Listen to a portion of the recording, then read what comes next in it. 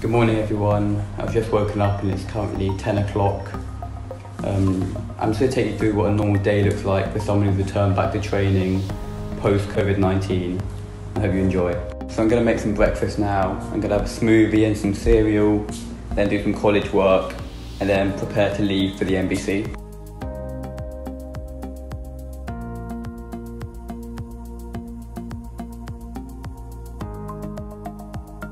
Just arrived at the centre now and I need to be aware of the new procedures in place. I must maintain two metres with everyone at all times, as well as wipe down everything I've touched at the end of the session.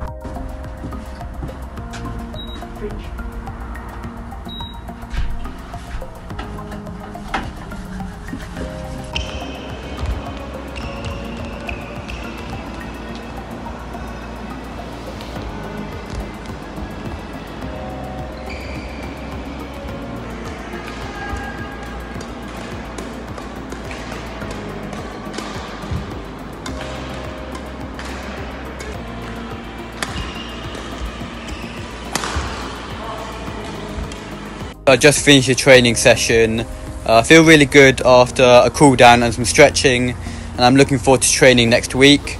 Uh, thank you all for watching and stay safe.